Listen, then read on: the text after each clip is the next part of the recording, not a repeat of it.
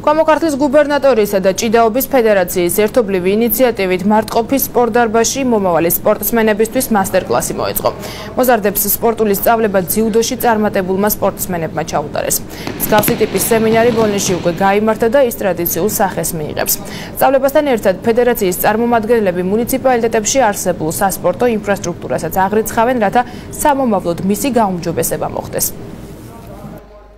ეს ტრენინგები ეხმარება ჩვენ ახალგაზრდა სპორტსმენებს იმაში, რომ უფრო მეტად დაიხვეწონ, ძლიერები გახდნენ და რაც მთავარია, უდიდეს სტიმულს აძლევს მათ იმაში, რომ შემდგომში გქონდეთ мотивация რომ გახდნენ დიდი სპორტსმენები და ამის ნიჭი უნარები ჩვენ შულებს გააჩნიათ. ჩვენ ვფიქრობთ ამაზე, რომ რამდენად რაიონებში უფრო გავიშლები და უფრო მეც ჩავატარეთ ესეთ ღონისძიებებს ძალიან კარგი იქნება ჩვენი ახალგაზრდა თაობის.